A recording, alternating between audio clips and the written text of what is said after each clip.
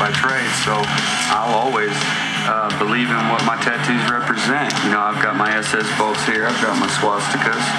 You know, uh, and you know, I've got my lightning bolts right there on my hand. So when I shake someone's hand, they know right then and there. You know that I'm, you know, I believe in the Aryan beliefs.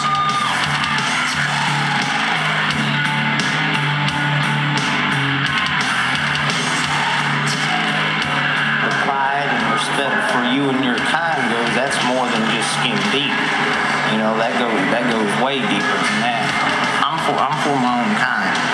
That's a lot of what it's about right there.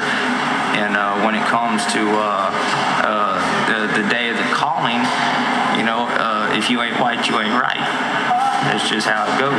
Uh, most of them run around here talking about uh, uh, slavery days. That was over 500 years ago, and don't none, none of them know nothing about it. Yeah, they still talk about it all the time, like it was yesterday or something. When it's been gone for so long. You know, Talking about their grandmas being raped and all this by the white man. Well, I mean, uh, I didn't do it. If I was gonna rape one, it wouldn't be it wouldn't be black anyway. It wouldn't be nothing outside of a white. Are you ever uptight that, you know, you're targets, you walk around with Yeah, tattoos? yeah, stay uptight. That's part of being in It's the way of- penitentiary. It's just part of life. Uh, you, you just got to deal with it, you know.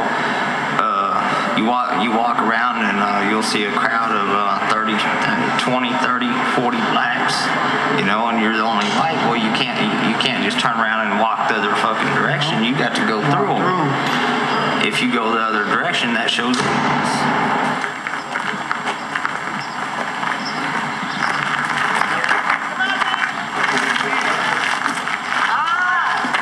Are you afraid that racial tension here is going to explode? It is exploding. There isn't no doubt about it going to. It's doing it now. What will you do if something like that happens? I'm gonna get my knife and everybody gets within knife distance gets stabbed. Anybody? Anybody. Stay away from me. I wanna die of old age.